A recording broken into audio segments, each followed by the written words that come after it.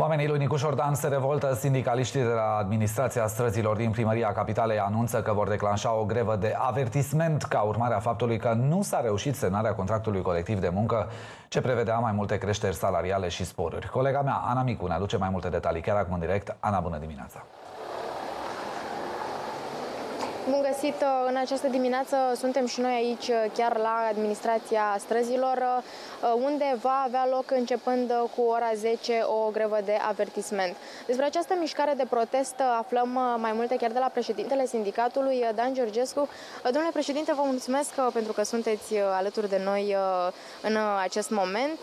Întrebarea care este acum pe buzele tuturor, de ce această mișcare de avertisment? Ce s-a întâmplat cu semnarea contractului colectiv? Bună ziua! În primul rând, conducerea instituției uh, nu a vrut să semneze uh, acest contract colectiv de muncă, ceea ce a dus la această grevă spontană.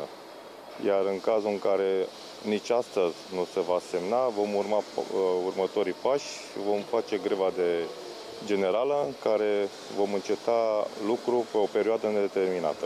Care este principala nemulțumire aici sau care sunt punctele uh, asupra cărora nu s-a găsit până acum uh, un uh, numitor comun? Este vorba de două puncte din uh, contractul colectiv uh, cel vechi, pentru că noi am susținut să rămână în baza celui vechi, vis-a-vis -vis de salariați, dacă sunt disponibilizați, să li se acorde 11 salarii compensatorii și pornirea unui, uh, negocierea unui nou contract colectiv de muncă să plece de la vechiul contract colectiv, lucru cu care administrația nu a fost de acord. Și o ultimă întrebare, cum a fost uh, primită această mișcare anunțată de protest? Uh, au fost oamenii încântați de această grevă sau s-au exercitat presiune asupra dumneavoastră pentru a renunța la ea? Toți salariații uh, instituției, uh, majoritatea membrilor de sindicat au fost foarte încântați, adică ei nu au fost încântați când au fost semnat contractul colectiv de muncă, dar pentru următorii pași, pentru această grevă, sunt uh, solidari și sunt toți apți la această grevă. Am mai primit anumite informații că din partea instituției s-ar face niște presiuni asupra unora să nu iasă la grevă, dar nu-i sperie acest lucru și ei vor fi prezenți la această grevă. Vă mulțumesc mult.